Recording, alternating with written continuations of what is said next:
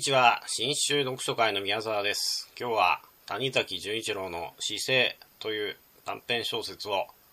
読み上げていきます。えー、読書会用に朗読しますんで読み間違いとはありますがご了承ください。姿勢、谷崎潤一郎。それはまだ人々が愚かという尊い徳を持っていて、世の中が今のように厳しくきしみ合わない自分であった。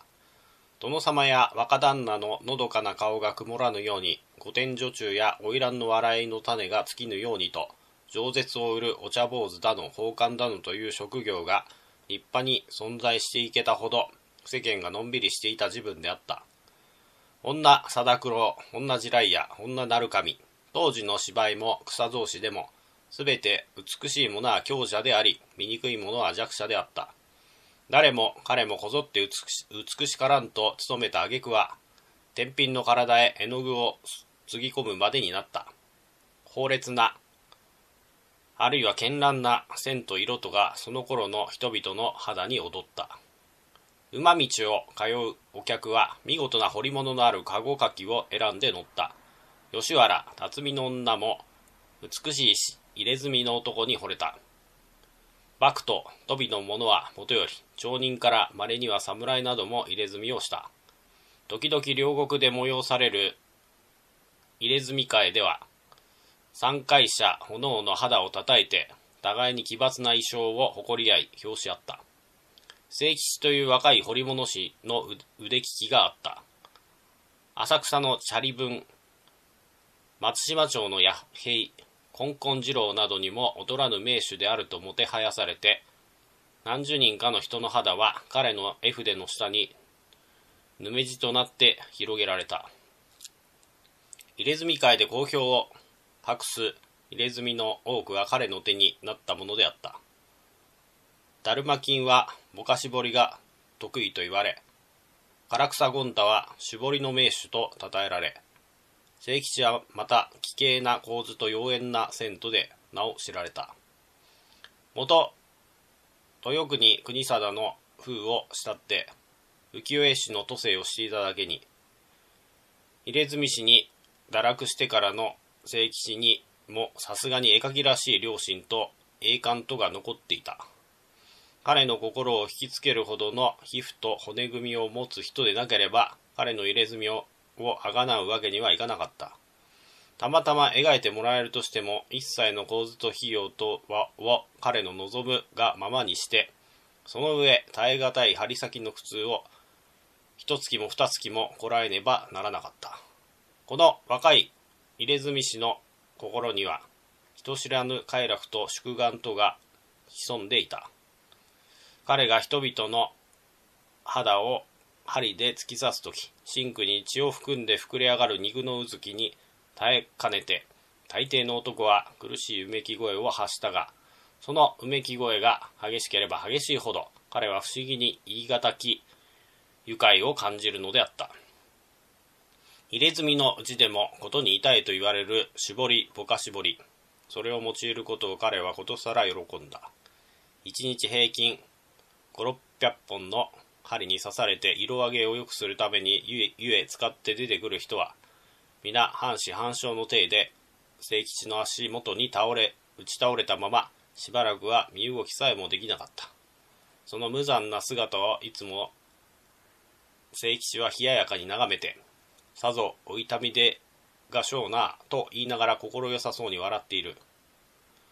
育児のない男などがまるで血死後の苦しみのように口を歪め歯を食いしばり、ひいひいと悲鳴を上げることがあると、彼は、お前さんも江戸っ子だ、辛抱しなさい。この聖吉の針はとびきり痛えんだから。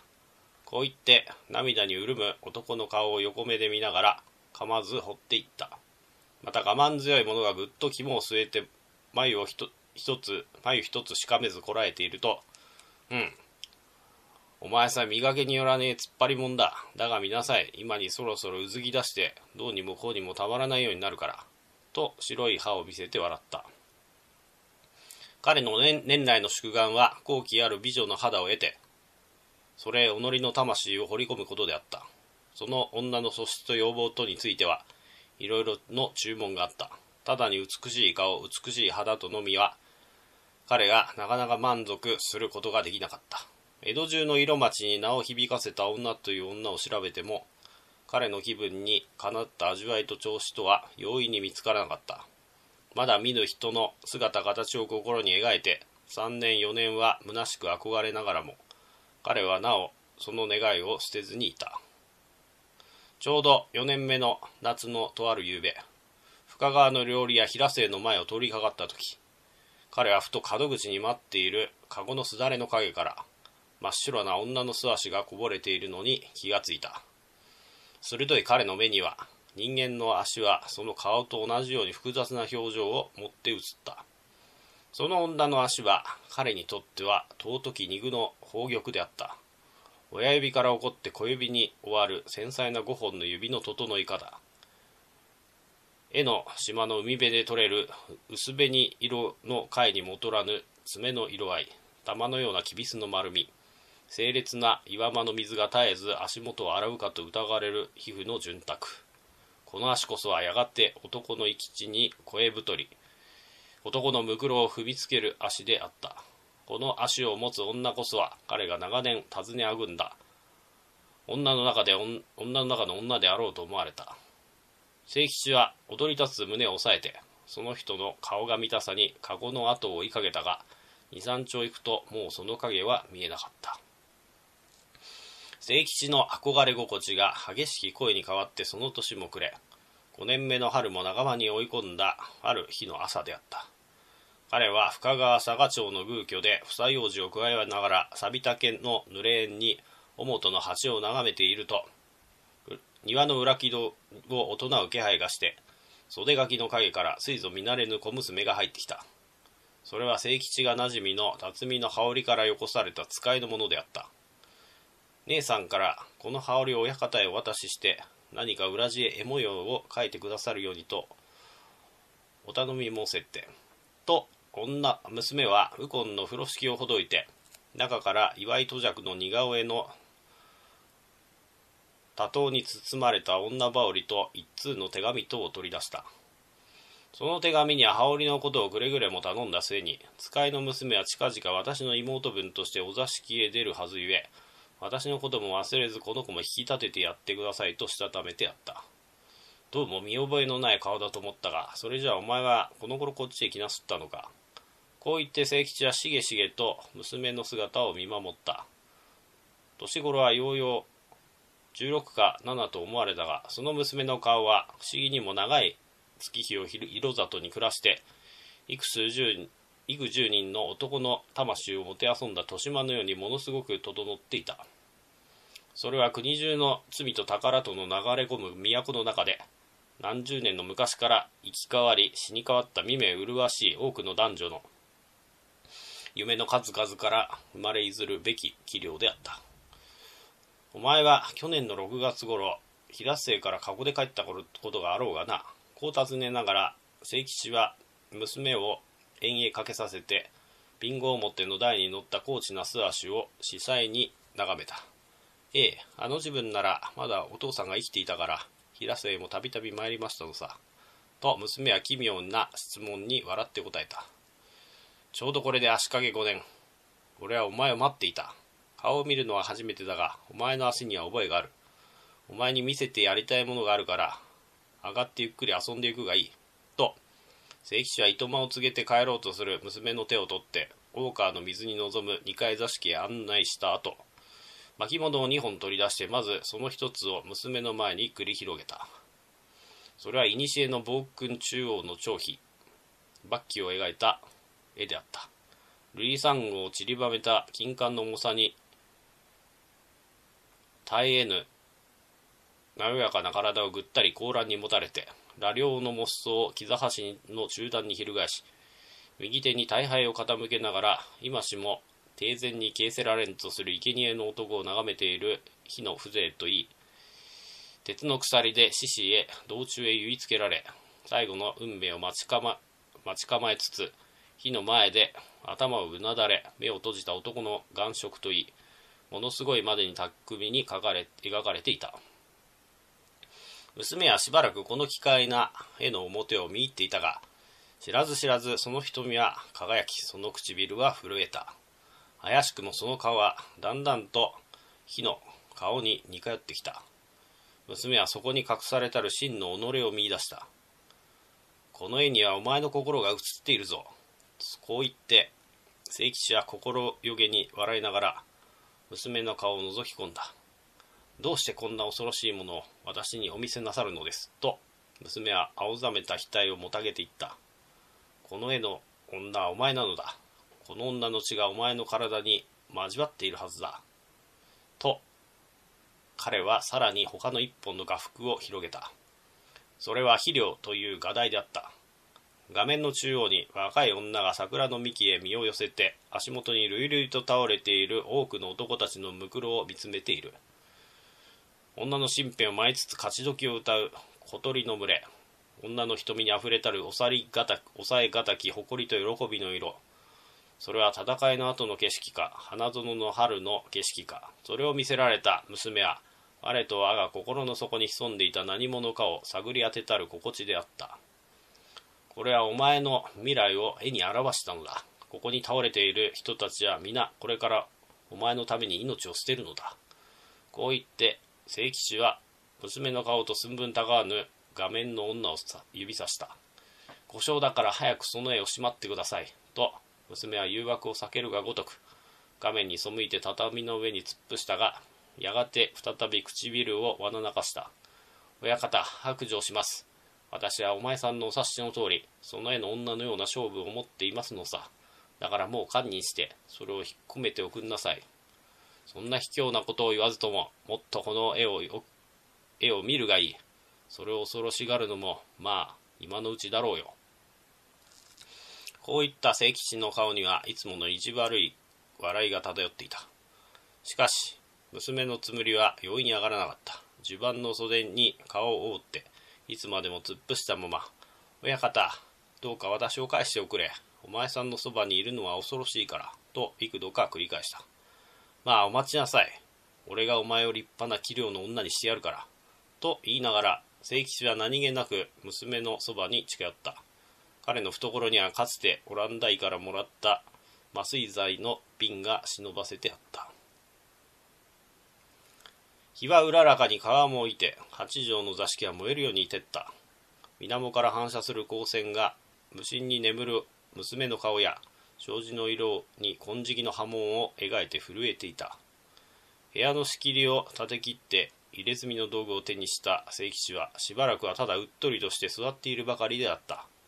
彼は今初めて女の妙想をしみじみ味わうことができた。その動かぬ顔に相対して10年100年この一室に正座するともなお開くことを知るまいと思われた。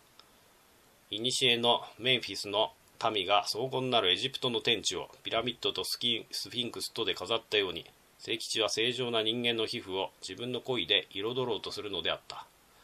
やがて彼は左手の小指と無名指と親指の間に挟んだ絵筆の方娘の背に寝かせその上から右手で針を刺していった。若い彫り物師は心は、若い彫り物師の心は墨汁の中に溶けて皮膚に滲んだ。焼酎に混ぜて掘り込む琉球紙の一滴一滴は彼の命の滴りであった。彼はそこに我が魂の色を見た。いつしか昼も過ぎて、のどかな春の日はようやく暮れかかったが、清吉の手は少しも休まず、女の眠りも破れなかった。女の帰りをの遅きを案じて迎えに出た箱屋までが、あの子ならもうとうに帰ってきましたよ、と言われて追い返された。月が対岸の都州屋敷の上にかかって、夢のような光が沿岸一帯の家々の座敷に流れ込む頃には、入れ墨はまだ半分も出来上がらず、清吉は一心にろうそくの芯をかき立てていた。一点に色を注ぎ込むのも、彼にとっては容易な技ではなかった。刺す針抜く針の旅ごとに深い吐息をついて、自分の心が刺されるように感じた。針の後は次第、次第に巨大な女郎雲の形を備え始めて、再び夜がしらしらと白み染めた自分にはこの不思議な魔性の動物は8本の足を伸ばしつつ背一面にわだかまった。春の夜は上がり下りの上り下りの川舟のロゴへに明け放たれて川風をはらんでくる下る白穂の頂から薄らぎ始める霞の中に中洲箱崎霊岩島の家々のイラカがきらめる頃清吉はようやく絵筆を置いて娘の背に盛り込まれた雲の形を眺めていた。その入れ墨こそは彼が命の全てであった。その仕事を成し終えた後の彼はの心はうつろであった。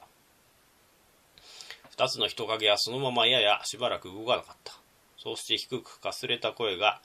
部屋の夜壁に震えて聞こえた。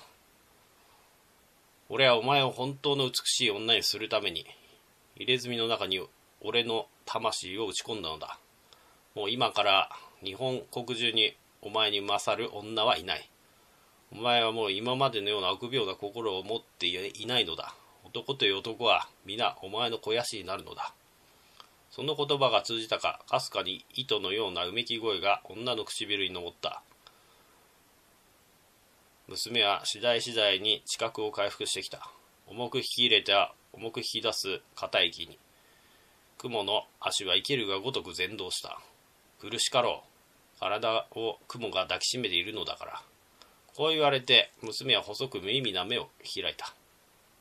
その瞳は夕月の光を増すようにだんだんと輝いて男の顔に照った。親方早く私の背中に入れ墨を見せておくれ。お前さんの命をもらった代わりに私はさぞ美しくなったろうね。娘の言葉は夢のようであったがしかしその調子にはどこか鋭い力がこもっていた。まあこれから湯殿へ行って色上げをするのだ。苦しかろうがちっと我慢しな。と清吉は耳元へ口を寄せていたわるようにささやいた。美しくさえなるならどんなことでも辛抱してみせましょうよ。と娘は身内の痛みを抑えて強いて微笑んだ。ああ湯が染みて苦しいこと。親方御正だから私を売っちゃって。2階へ行って待っていておくれ。私はこんな惨めなざまを男に見られるのが悔しいから。娘は湯上がりの体を拭いもせずいたわる清吉のの手を突き抜けて激しい苦痛に流しの板の間に身を投げたままうなされるごとくうめいた。気違いじめた。髪が悩ましげにその頬へ乱れた。女の背後には兄弟が立てかけてあった。真っ白な足の裏が2つ。その面へ映っていた。昨日とは打って変わった女の態度に清吉は一方ならず驚いたが言われるままに一人二階へに待っているとおよそ半時ばかり経って女は洗い髪を両肩に滑らせ身じまいを整えて上がってきた。そうして苦しみの影も止まらぬ晴れやかな眉を張って欄干にもたれながらおもむろにかすぶ大空を仰いだ。この絵は入れ墨と一緒にお前にやるからそれを持ってもう帰るがいい。こう言って清吉は巻物を女の前に差し置いた。親方私はもう今までのような臆病な心をさらりと捨ててしまいました。お前さんは真っ先に私の肥やしになったんだね。と女は剣のような目を輝かした。その耳には外貨の声が響いていた帰る前にもう一遍その入れ墨を見せておくれ清吉はこう言った。女は黙ってうなずいて肌を脱いだ。堀から朝日が入れ墨の表を指して、女の背中は散乱とした。終わりです。